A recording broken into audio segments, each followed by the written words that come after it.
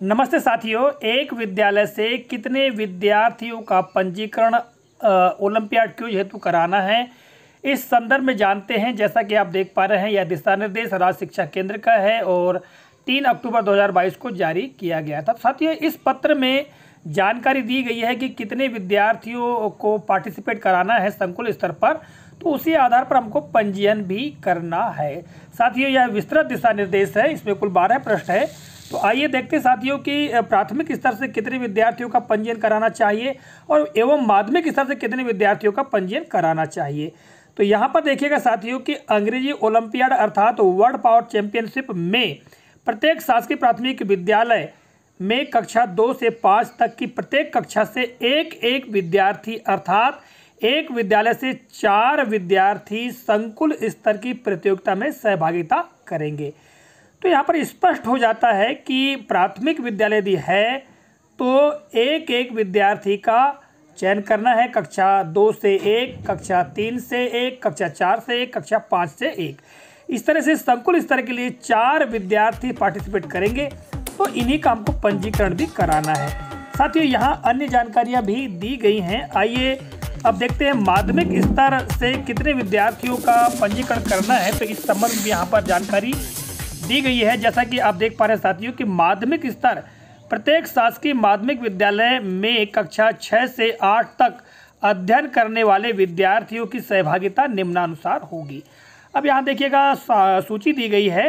ये क्रमांक है यहाँ पर छः से आठ तक नामांकन, अर्थात कक्षा छः से आठ तक विद्यार्थियों की जो दर संख्या है, उस आधार पर विद्यार्थियों का पंजीकरण करना है। तो जिस विद्यालय में यदि 20 तक विद्यार्थी हैं, यानी एक से 20 तक है, अर्थात 20 विद्यार्थी ही हैं तो ऐसे विद्यालयों से केवल तीन विद्यार्थियों का पंजीयन करना है। यहाँ लिखा है कि प्रत्येक विद्यालय से संकुल स्तर पर सहभागिता करने वाले विद्यार्थी की संख्या, यानी तीन विद्यार्थी सहभागिता करेंगे, अर्थात तीन विद्यार्थियों का हमको पंजीयन कराना होगा। इसी तरह से यहाँ पर देखिए कि साथियों, यदि विद्यार्थियों की संख्या, यानी कक्षा छः से आठ तक के लिए विद्यार्थियों की संख्या चालीस तक है।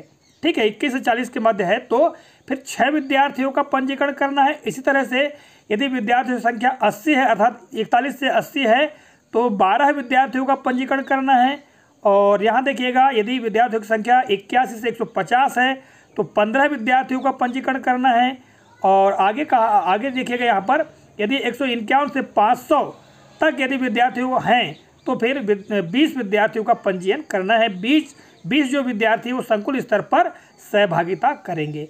यदि 500 से अधिक है तो फिर 50 विद्यार्थियों का पंजीयन करना है। अर्थात 50 विद्यार्थी संकुल स्तर पर ओलंपियाड क्विज के लिए सहभागिता करेंगे। ठीक है?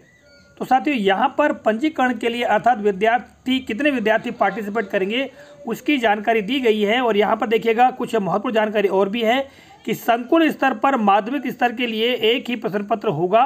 जिसमें पाँच खंड होंगे। प्रथम खंड प्रश्न मंच द्वितीय खंड हिंदी ओलंपियाड तृतीय खंड अंग्रेज़ी ओलंपियाड, चतुर्थ खंड होगा विज्ञान ओलंपियाड और पंचम खंड होगा गणित ओलंपियाड। प्रत्येक खंड के पृथक पृथक बीस बीस प्रश्नों को मिलाकर कुल सौ बहुविकल्पी वस्तुनिष्ठ प्रश्न होंगे। ठीक है? और प्राथमिक की हम बात करें तो प्राथमिक केवल अंग्रेज़ी ओलंपियाड होगा। अर्थात अंग्रेज़ी भाषा से संबंधित क्विज होगी। जैसा कि बताएगा वर्ल्ड पावर चैंपियनशिप तो शब्दों की जानकारी के अंतर्गत विशेष तौर से प्रश्न पूछे जाएँगे, ठीक है? और यहाँ साथियों, और भी महत्वपूर्ण जानकारी दी गई है किसी अन्य वीडियो में हम इस संबंध में और जानकारी देने का आपको प्रयास करेंगे। आज की वीडियो में हमने बताने का प्रयास किया है कि कितने विद्यार्थियों का प्रत्येक विद्यालय से पंजीकरण पंजीकरण करना चाहिए, जिससे कि वो संकुल स्तर पर पार्टिसिपेट कर सके। आशा करता हूँ जानकारी उपयोगी लगी होगी। मिलेंगे अगले कालखंड में, तब तक के लिए जय हिंद।